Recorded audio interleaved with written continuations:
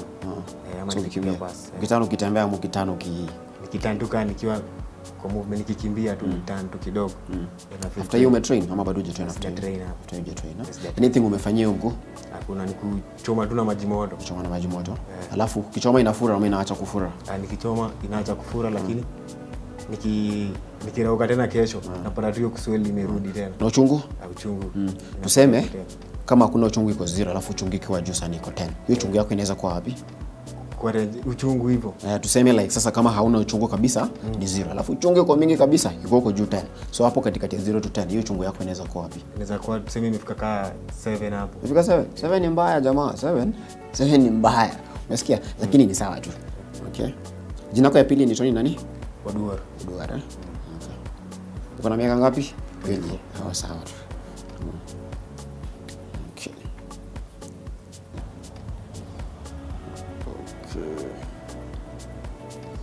So umesema kuna uchungu kwa magoti. Ah, uchungu iko mbele, nyuma, ndani.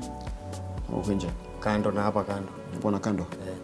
Usikie uchungu tu like full time. Hadi sasa unasikia uchungu. ah, saizi Umekunywa Panadol ama diclofenac? ah, sijakunywa diku Sawa. kunywa anything umekunywa? hakuna Hujakunywa supu? ah.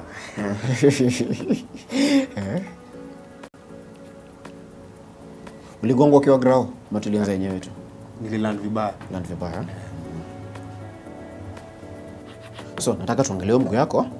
Ndio tujue exactly nini za kwa noma alafu utapatiwa madawa kulingana na ile uchungu utakuwa nayo ama ile noma itapatikana ndani then from there utakuwa unakuja sessions eh, therapy sessions na pia tukafanya rehab Sasa hizi hakuna kutrain. Sawa. Sawa ni rest. So utakuwa nizo hizo madawa utapatiwa wengine ya kukunywa utapatiwa wengine ya kupaka uh, for at least a week eh? Rest. Kwa ufanye anything. So credit zoezi mimi tunakupangia venye tutakuwa tunafanya program yetu. Sawa? Sawa. Yeah, zile masquats zile jumps zote ni so at least tukimaliza unaweza rudi zoezi mrudi cheza ball kwa fit si ndio? Sawa. Swali yote? Hakuna? Hakuna swali? Sawa And as Dr. said, we are at the German Medical Center. Very important that we get to understand the importance of a sports physiotherapist. And yes, Dr. Odongo is here with us.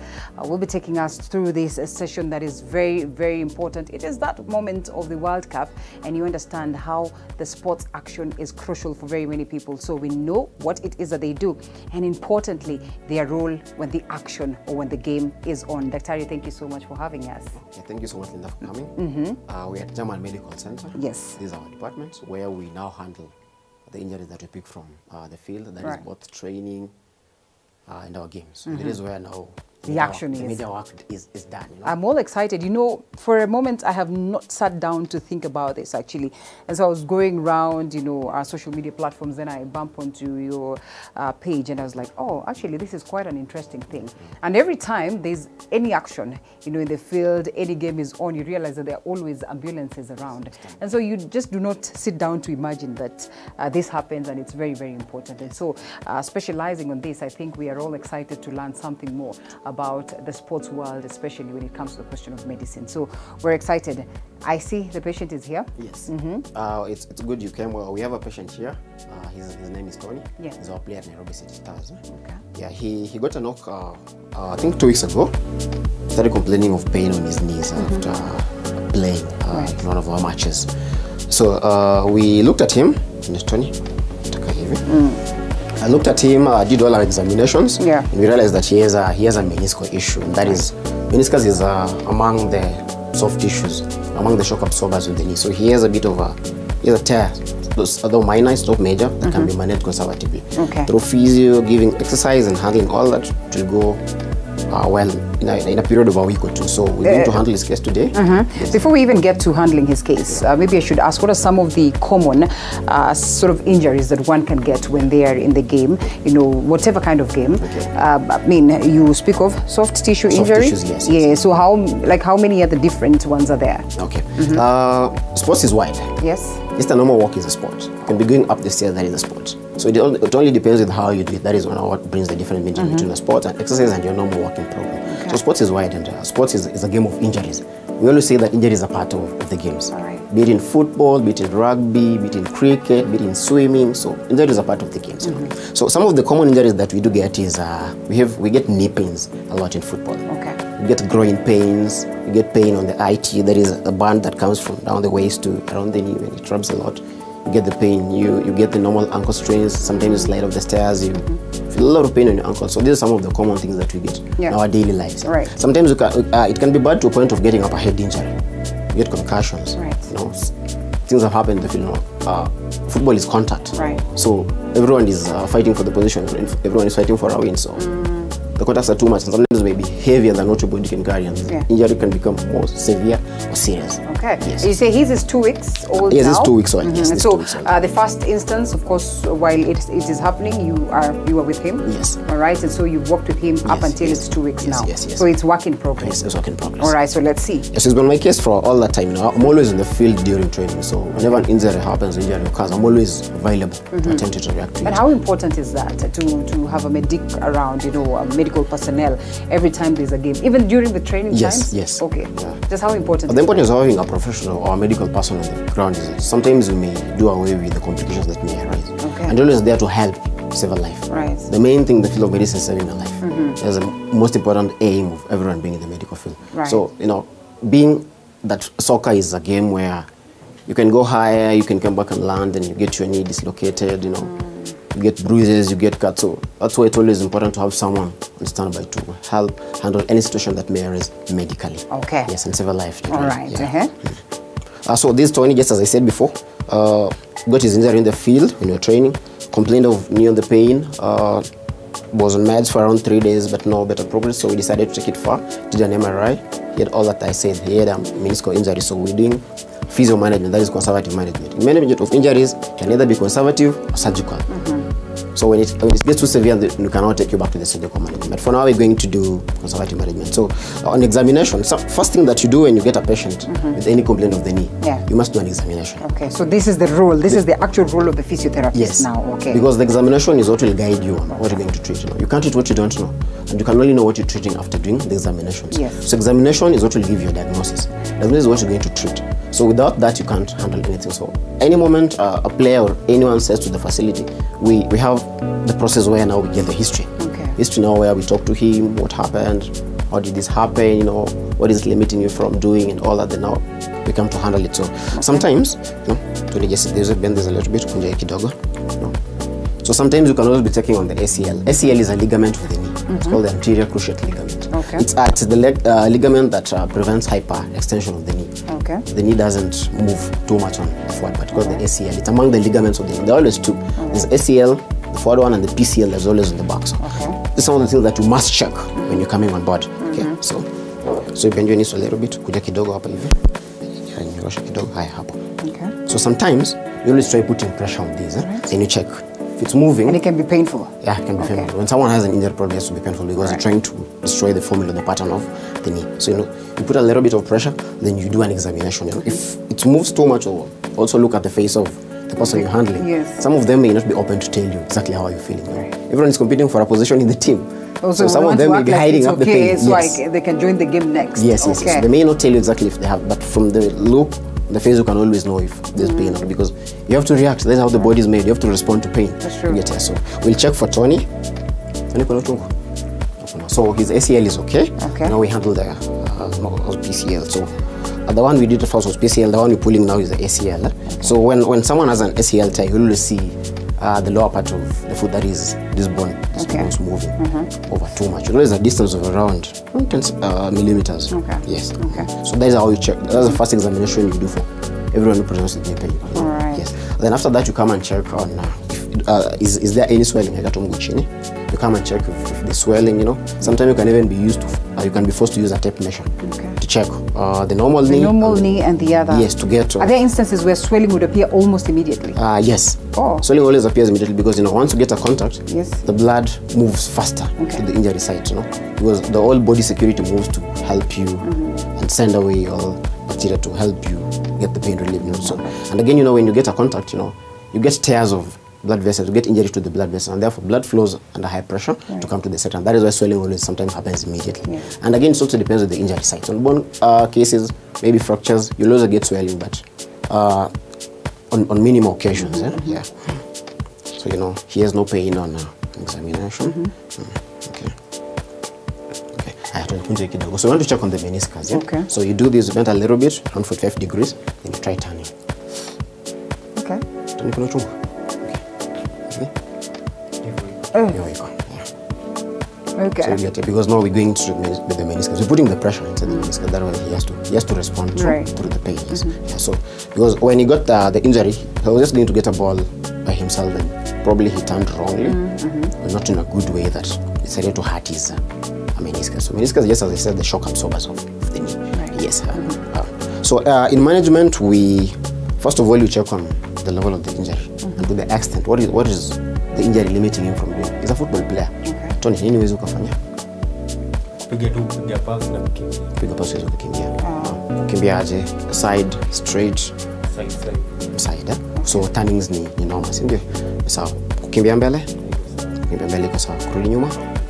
Kurudi kwa sawa so all that he's giving me is always in relation to what I was examining. Okay. because in case most cases of meniscal injuries. Turning is a problem because the moment you turn the knee is trying to glide over the knee. you know the the, the, the, bone is coming to rub over into the meniscus space and since it's hurt it's still bleeding still fresh. That's why it's feeling pain on, on turning that's why even if I do the test I was doing it's feeling pain on the medial part of the knee yes, I mean the inside part. Yes. Uh, so nini tena? Uchungu yoyote?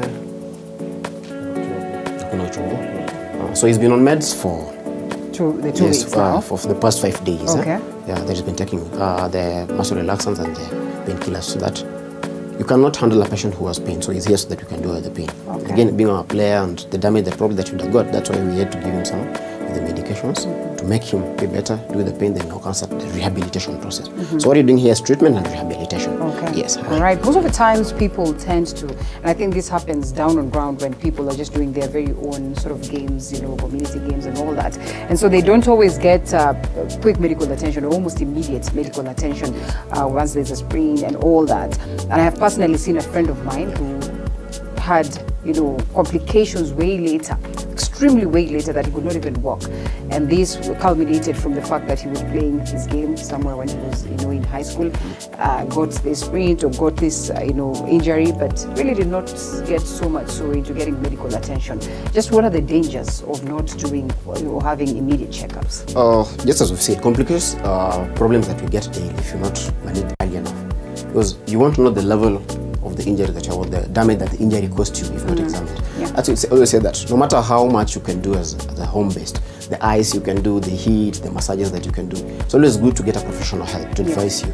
Go to the hospital, be helped, let all the tests be run so that you can get a problem done once and for all. If you don't treat it now, some days later it may reoccur.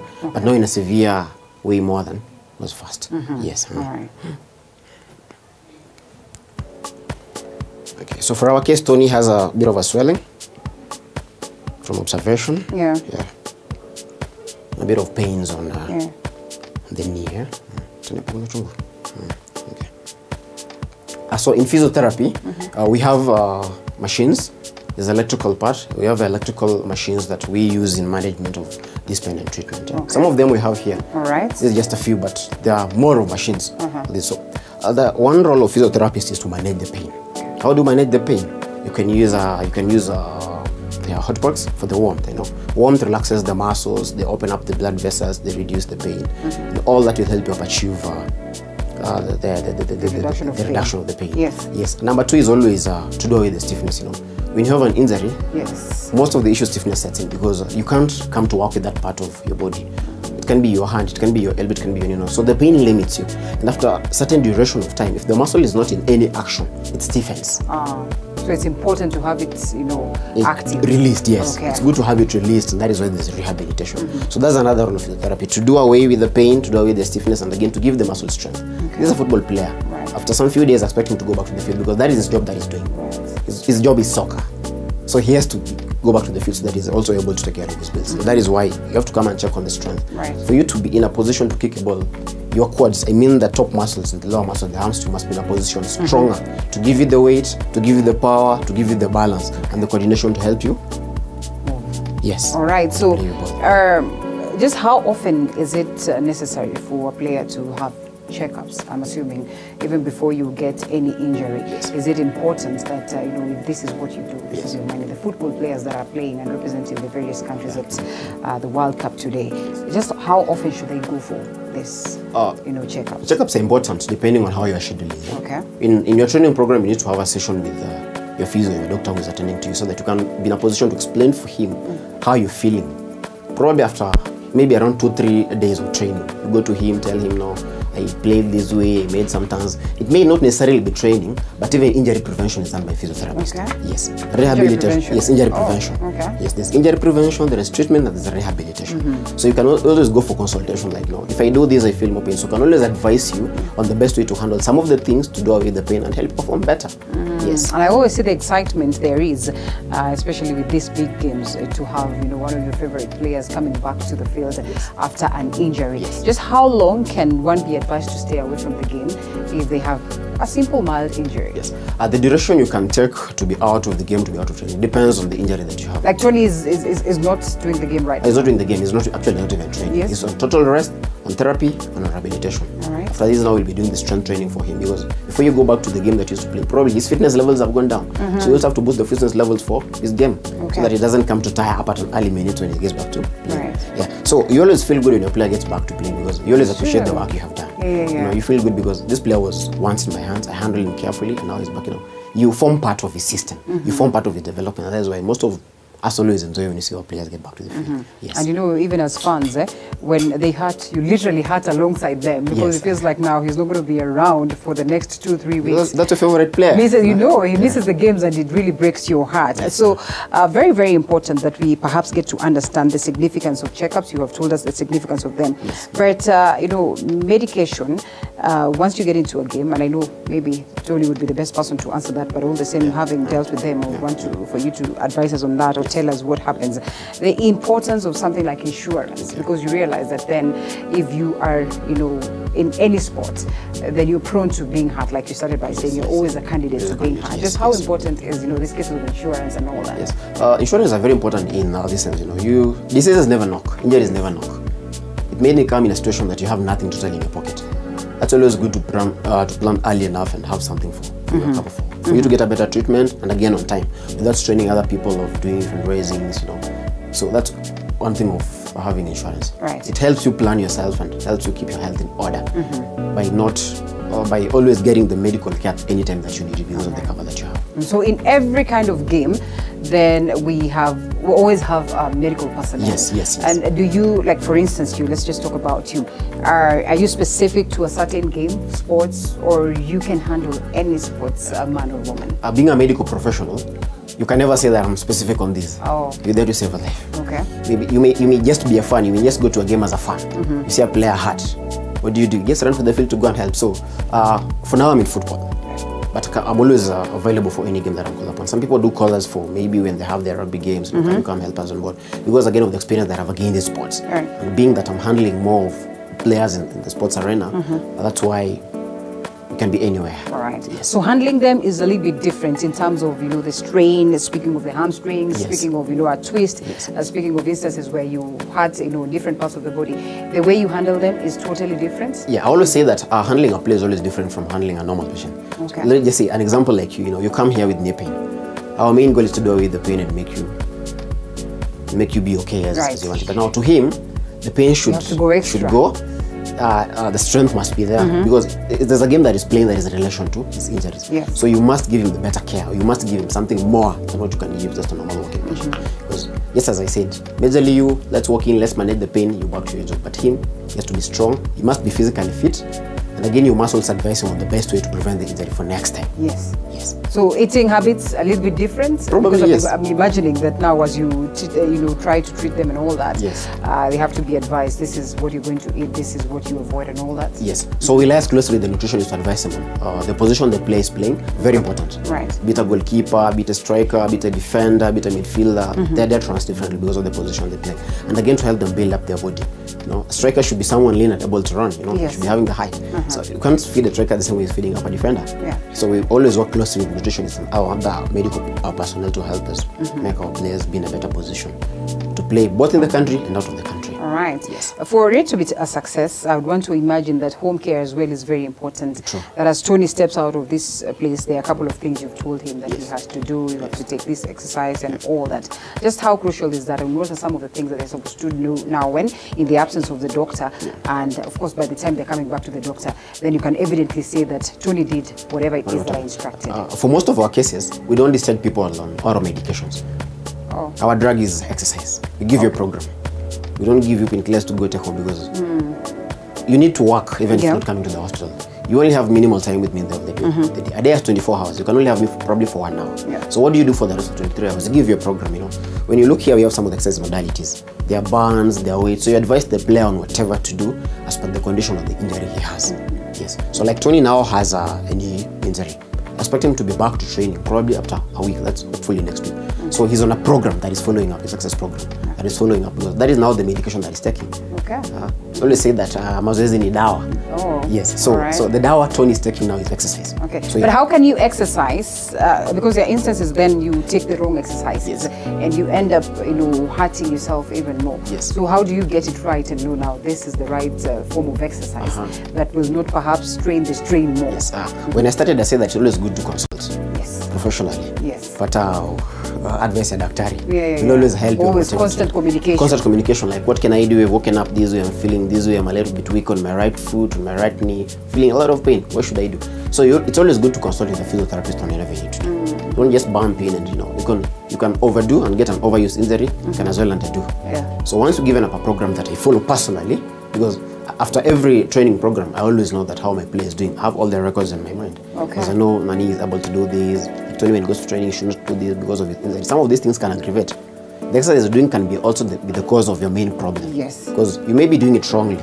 You may be thinking that you're doing it rightly, yet you're doing it wrongly. And the wrong thing that you're doing to your body is why sometimes your back hurts, your neck hurts, your shoulders hurt, your knees hurt. So it's always good to get an advice of a professional to take you through your access program. Okay. Yes. Sorry, allow us to take a quick short break. Okay. And then we come back, perhaps check uh, some more on what the machines are all about. Okay. As, of course, before we call it a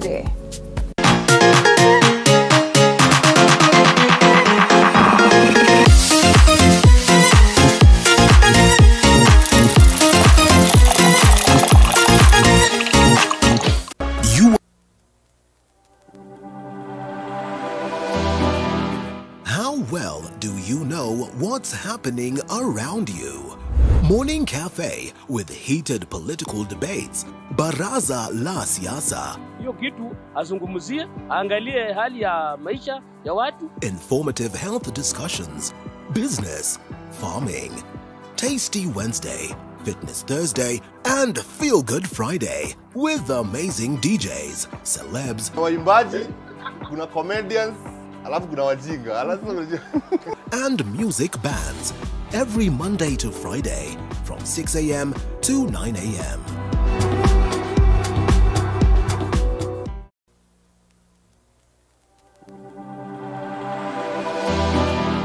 How well do you know what's happening around you? Morning Cafe with heated political debates. Baraza la Siasa. Hiyo kitu azungumzie, aangalie hali ya maisha ya watu. informative health discussions, business, farming, Tasty Wednesday, Fitness Thursday, and Feel Good Friday with amazing DJs, celebs, Kuna waimbaji kuna comedians alafu kuna wajinga and music bands every Monday to Friday from 6 a.m. to 9 a.m.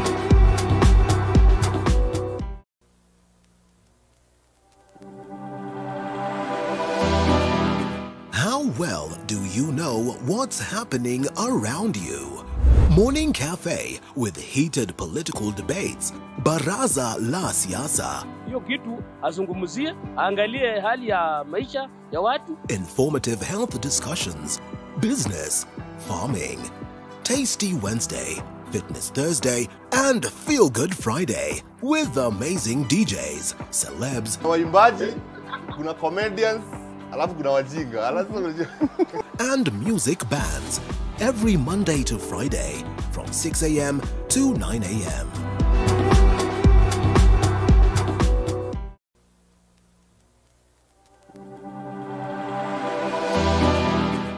do you know what's happening around you?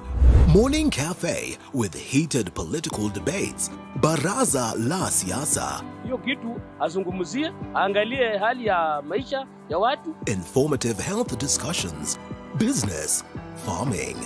Tasty Wednesday. Fitness Thursday. And Feel Good Friday. With amazing DJs, celebs, waimbaji kuna comedians alafu kuna wajinga and music bands every Monday to Friday from 6 a.m. to 9 a.m.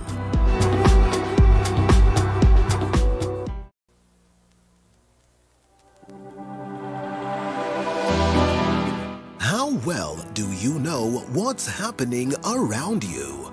Morning Cafe with heated political debates. Baraza la Siasa. Hiyo kitu azungumzie, aangalie hali ya maisha ya watu. informative health discussions, business, farming, Tasty Wednesday, Fitness Thursday, and Feel Good Friday with amazing DJs, celebs, waimbaji kuna comedians alafu kuna wajinga and music bands every Monday to Friday from 6 a.m. to 9 a.m.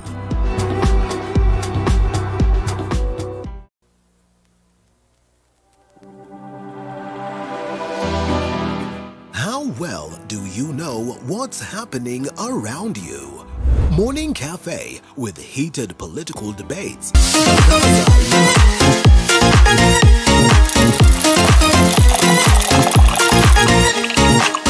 Eye care is very, very important. Sometimes you just sit there, you probably do not know uh, what complications your eye or your eyes are going through. And, uh, you know, sometimes before you know it, you are having your spectacles. While at some point in time, it looked like it's a, it, it, it's a classy, it's a nice thing to do. Over time, you realize the difficulties that come along with that. You're exposed to light, you're using your computers on a daily, you know, the UV rays, you're connected to so much, the dust and all this. So that means you probably need to have constant checkups on your eyes. But because as a country, we probably are not so much fo- uh, focused or we're not so huge on that, I guess it's only important that we just get to understand the nitty gritty details, the basics of eye care right here on a body garage that is uh, taken through this by Dr. Damian of RFH, that is the Roy Family uh, Hospital. Uh, Dr. Damian is an optometrist and uh, he will probably take us through uh, this session and tell us how important it is to just have constant eye checkups. You know, it could sound expensive, but it could save you a great deal. And so, Dr. thank you so much for creating time for us and also welcoming us here. I can almost tell that there's so much activity that is here, and we all hope to learn out of this. I didn't know that as well. You people have cameras on uh, when it comes to the aspect of eyes. Oh my God. You, are, you are here, we'll show you everything. I am looking forward to that. So Yes. please uh, introduce yourself to us and tell us what you do right here, uh, the RFH. Uh, good afternoon, everyone, and thanks, Linda, for hosting me. My name is D Damian Issa. I'm an optometrist by profession, mm. and I'm in charge of this optical department at RFH Hospital. And again, I will say welcome and feel free to inquire about anything. Feel free to ask any question. I'll be showing you several things about the eye care and conditions that may lead you to having problems regarding your, your sight as we interact all along. Mhm. You know, Dr. I have had conversations with my friends abroad, uh, especially in the mature democracies, and they will tell you that right from childhood, it is almost mandatory for you know people to go through eye care, eye checkups, you know, on a constant, I don't know, oftenly. Uh, why is it that we're not adapting this here? And they will tell you that that has great, you know, uh, greatly helped the population not to have eye complications, and that is to mean then that some of these complications that arise in old age, you know, in our lifetime, could easily be arrested.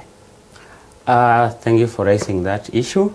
Uh, currently in Kenya, we are doing much, especially if we focus on the Vision 2030. There is a lot uh, that has been laid in that vision uh, regarding the ophthalmic services, that is the eye care.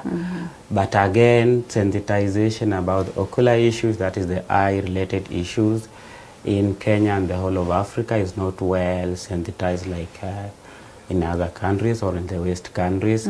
But a lot is being done to make sure the health and the eye in, uh, in general is uh, sensitized and eye conditions that may affect your vision are well brought to light in time.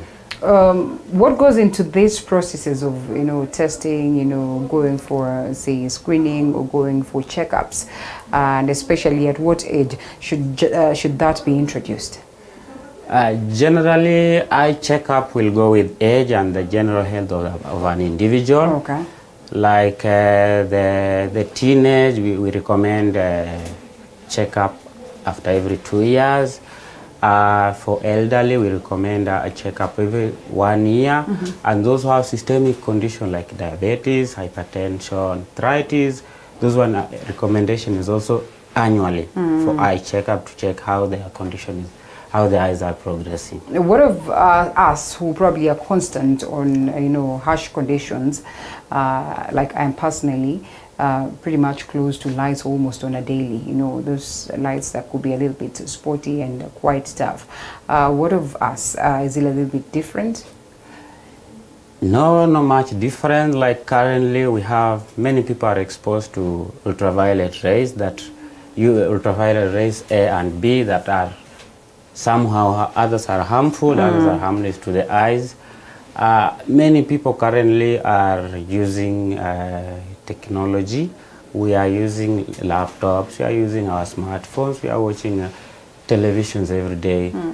These all people, this all this generation is at risk, a very huge risk, and optical checkup or eye checkup should be annually. Yes. I am told that uh, the spectacles I can wear, uh, well prescribed by the doctors, uh, that really would protect me from these ultra UV rays that you speak about, or the UV rays that we keep talking about, would uh, protect me from the harsh light conditions, would protect me from you know uh, possible uh, conditions that would emanate from me constantly checking on the computer, watching television, being on my phone on a daily. So we have several kinds of spectacles, uh, depending on the need or the condition of the patient. We have those, those people who are affected by sunlight, they have their special spectacles, we, we call them photochromatic. We have those patients that are affected by artificial lights, like car headlights or TV lights. This, this patient needs spectacles that have what we call anti-glare. And we also have another set of patients that need special spectacles that we call, they have polarized lenses. So each person or each patient with different needs will get, will be prescribed a different type of spectacles. What of contact lens, uh, lenses and uh, those ones that could be for beauty as well as sunglasses? And how deep would one then have a doctor recommend that they have contact, you know, lenses? Uh, contact lenses are usually an alternative to, to those who don't prefer spectacles. So it's really not because it's, it's a dire situation. No, no, no. Okay. And for the contacts, I have special, pres- I have special requirement. For those who have special requirements, we recommend uh, contact lenses.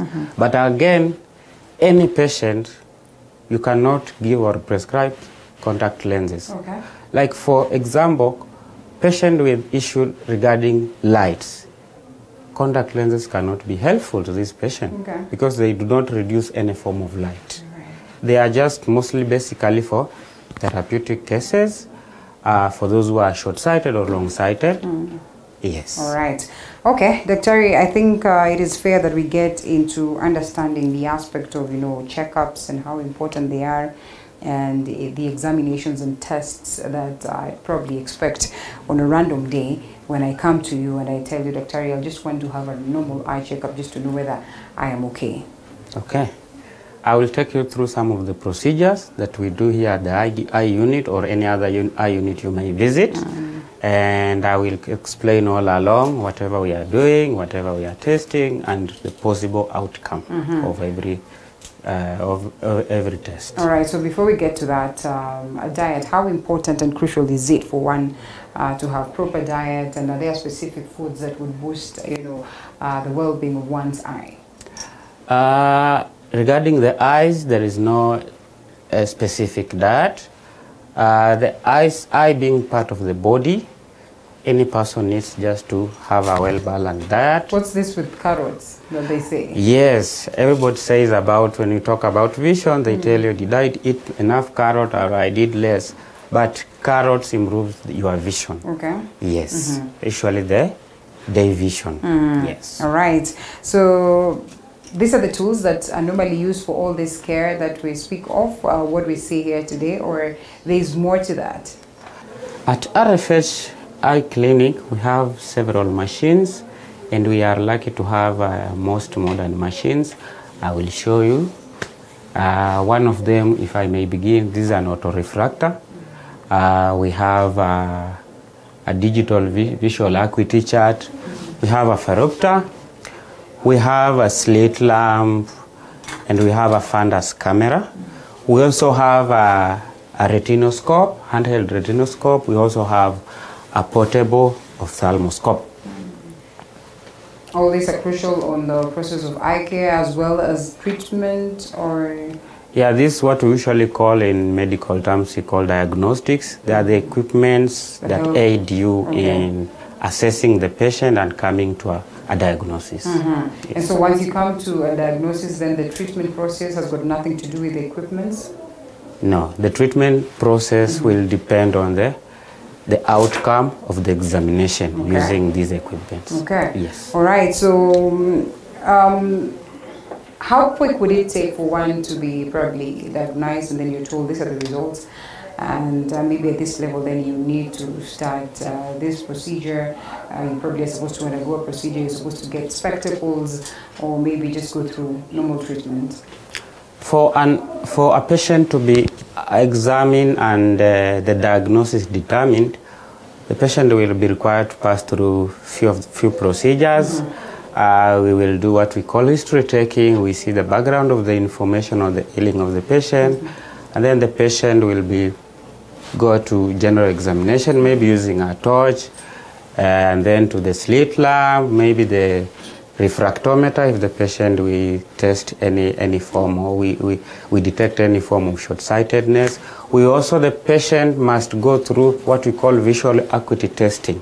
This is basic to determine how far or near the patient can see. Mm-hmm. We have other procedures that will require a patient to take time or doing a booking like what we call a fundoscopy.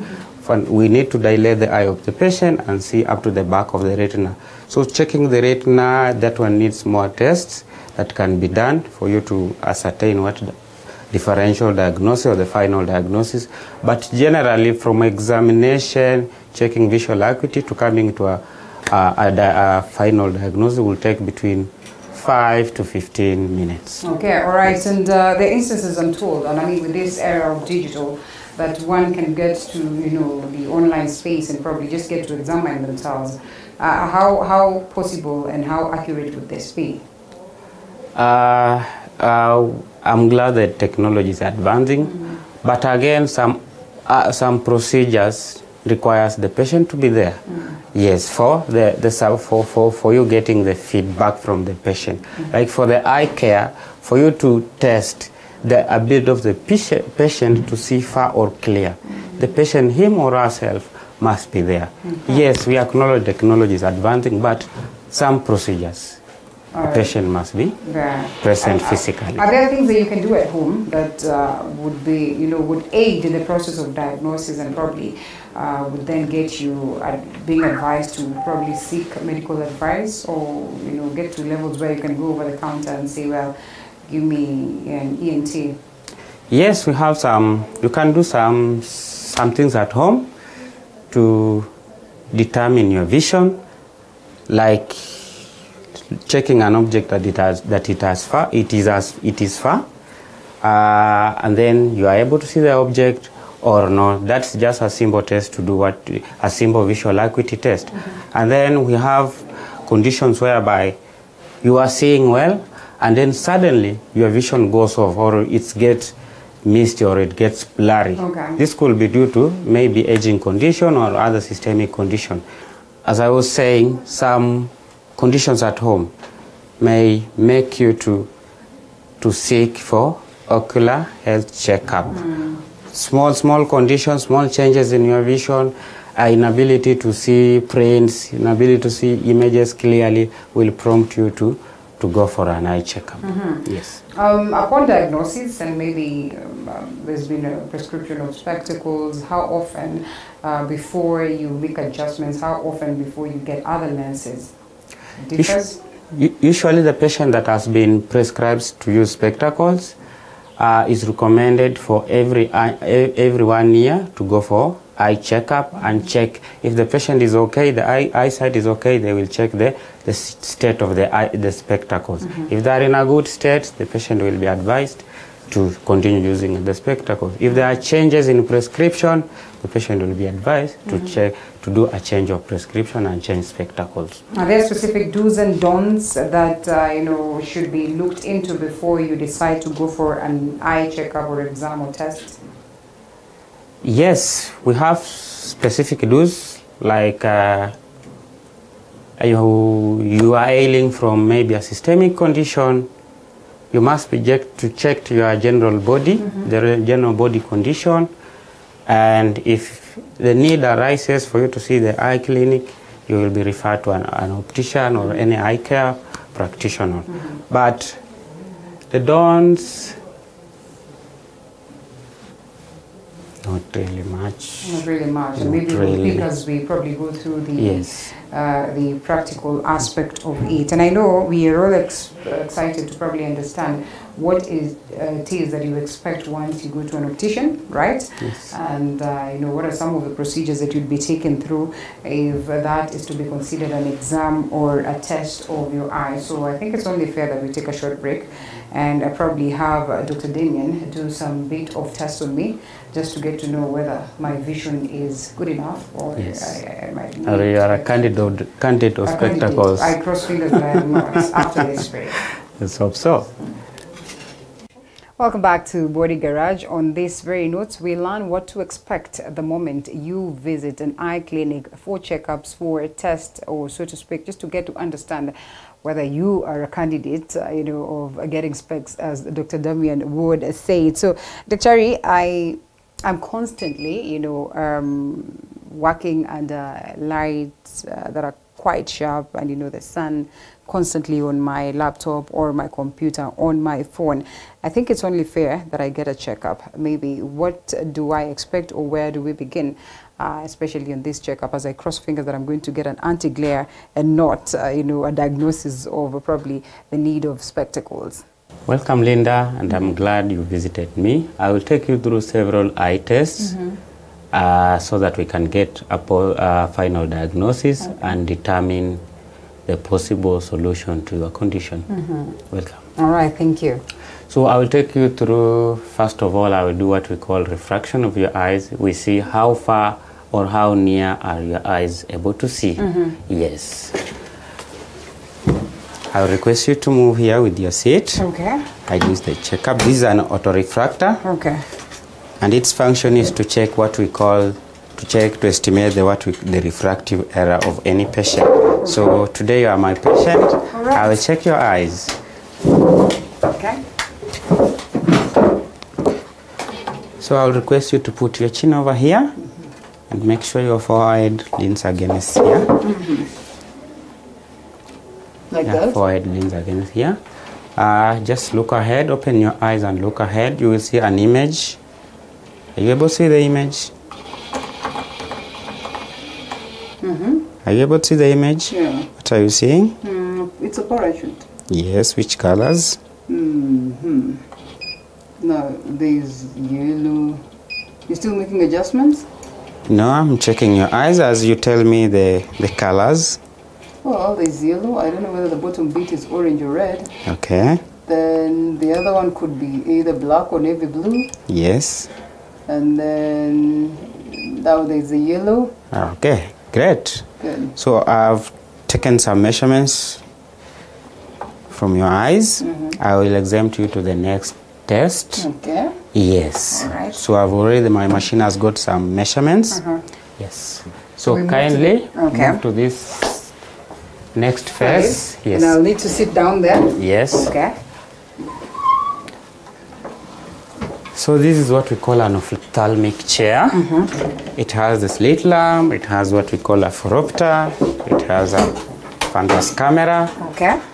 I will do some tests to check the general health of your eyes. All right. So Using I put my legs down. or- yes, Okay. just sit comfortable on the seat. It's adjustable. I'll do some adjustments, and then while using the slit lamp, I will be using some light. So just for a while, be ready. I will shine some light in your eyes, Okay. so that I can zoom what could be ailing your eyes.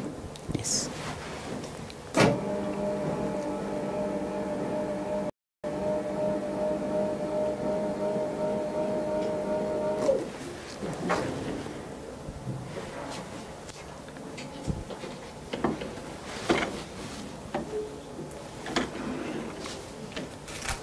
No side effects to this. No, no side effect. I'm not touching your eye in any way. Okay. so I'll, again, we'll put our chin here. yeah.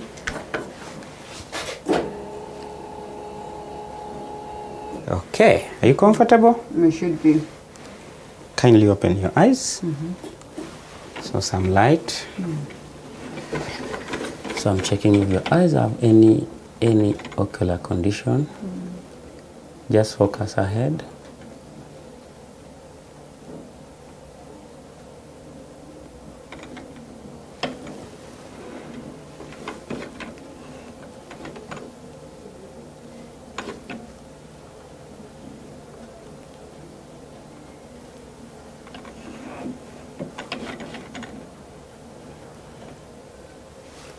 Great. You can relax. I'm glad your eyes are I'm okay. There is no Woohoo. ulcers, there is no diseases. Nice. So we'll move to the next chapter. We, are, we want to check now your vision. Okay, so at this point, what are some of the things that one can detect? Some diseases, eye diseases that one can detect this? Yeah, the function of the slit lamp is slit lamp ophthalmoscope is to zoom. Any my, my small